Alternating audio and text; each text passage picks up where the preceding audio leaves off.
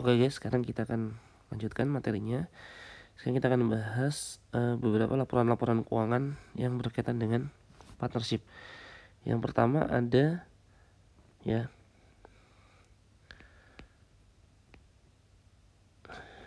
yang baru sih sebenarnya cuma ini guys. Cuman namanya partners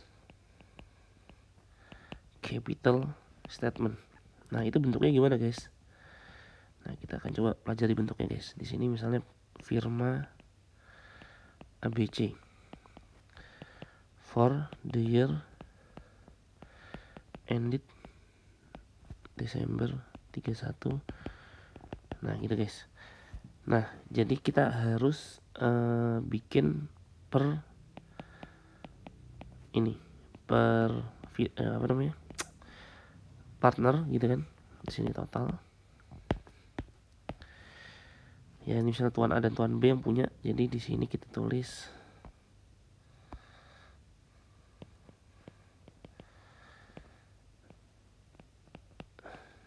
Bisa gitu misalnya.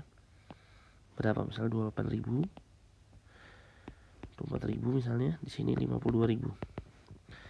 Kemudian additionalnya ada investment gitu kan. Kalau ada investment tambahan 2000 misalnya di sini kemudian ada net income. Misalnya 12.400 di sini 2000 ya. Oh ini net income oh net income-nya 12 eh 22.000 sorry 22.000 tadi ya sesuai. Eh 22.000 ini. Kemudian net, net income-nya berarti dibagi si tuan A dapat 12400 dan tuan B dapat 9600 misalnya gini guys. Ini misalnya ya contoh aja guys. Ini 42400 ini 33600 ini 76000 ya kemudian last apa? Yang pengurangnya drawing. Drawing misalnya dia 7000 dia 5000 berarti dia 12000 sehingga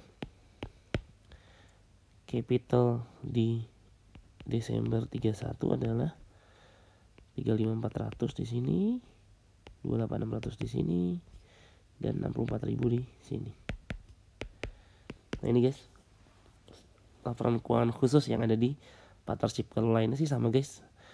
Uh, statement of financial position sama cuma nanti uh, jadi di section equity gitu di statement of financial position ya. Ya ditulis berarti ada si tuan A capital gitu misalnya. Dan ada senilai berapa nih guys?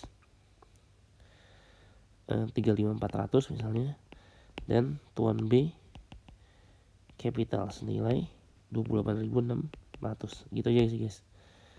Sehingga total equity adalah 64000 nah gitu aja. Ini di statement of financial position ya Oke guys, kira-kira itu aja guys yang bisa gue sampaikan di materi kali ini. Semoga bermanfaat. Jangan lupa like,